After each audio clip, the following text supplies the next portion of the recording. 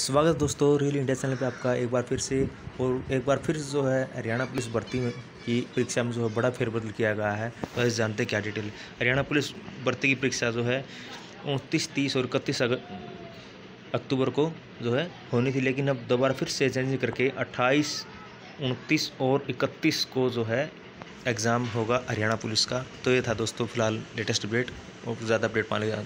लिए हमारे चैनल साथ बने देखते रहिए इंडिया आपका अपना चैनल फिर मिलते हैं एक नए लेटेस्ट अपडेट के साथ